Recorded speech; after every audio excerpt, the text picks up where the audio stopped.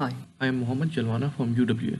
We propose a novel attack on deep representation that aims at explaining it instead of traditional fooling. We demonstrate the utility of our scheme for a variety of image synthesis tasks using classifiers. Our technique broadens the input domain of perturbation and employs model-faithful channeling of gradient-based perturbation in an iterative manner. The contrast of our formulation with traditional objective can be seen in shown equations. Here are some perturbations computed by our technique for the mentioned target labels. Visually salient features of each class are clearly visible, which help in explaining the semantics learned by deep models. Here we show representative results of image generation using our scheme and a related existing work. Clear improvements are visible with our technique. We also extend our technique to perform in-painting with robust classifiers. The result demonstrates realistic filling of region as compared to existing methods. For interactive image manipulation, notice the realism in the rightmost column.